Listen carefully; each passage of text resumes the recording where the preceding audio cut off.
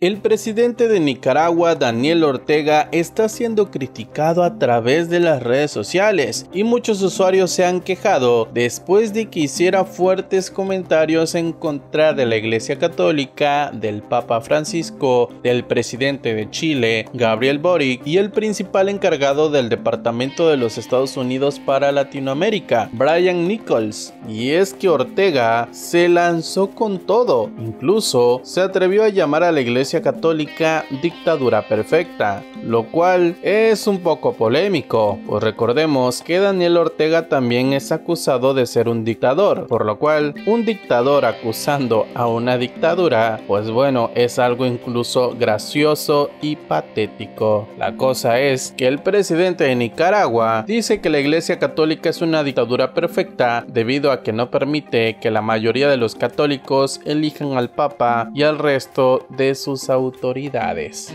¿Quién elige a los curas? ¿Quién elige a los obispos? ¿Quién elige al Papa, a los cardenales? ¿Cuántos votos? ¿Quién se los da?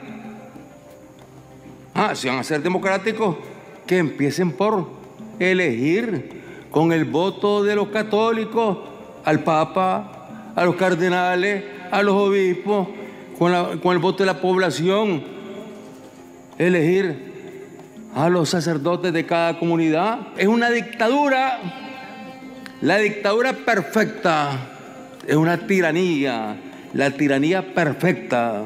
Y bueno, además de estas polémicas declaraciones, también llamó perrito faldero a su homólogo chileno, esto por exigir la liberación de presos políticos en el país centroamericano, diciendo Ortega que se ha puesto de moda pedir en foros internacionales que se deje en libertad a los presos políticos de Nicaragua, pero que su homólogo chileno no libera a sus propios presos políticos que hay que poner libertad a los presos políticos en Nicaragua.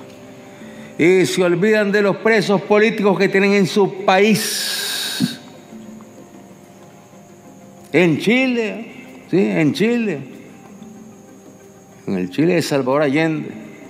Todavía sigue privando la constitución que dejó el tirano, el traidor, el criminal. Augusto Pinochet es el que llevó la democracia, dicen, a Chile, asesinando al pueblo chileno, desapareciendo a la juventud chilena. Y ahí sale, de repente.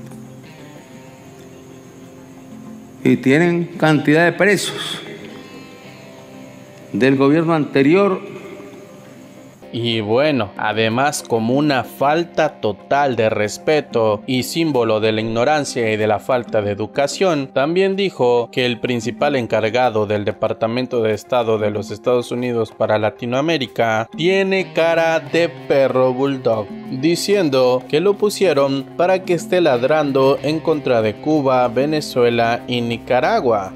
Ladra contra Cuba, ladra contra Venezuela, ladra contra Nicaragua. ¿Eh? Eso lo han puesto al pobre negro. ¿Mm? Y bueno, como que fue bien escogido porque realmente tiene un rostro ¿eh? de, perro de bulldog. Sí, un perro bulldog ladrando ahí.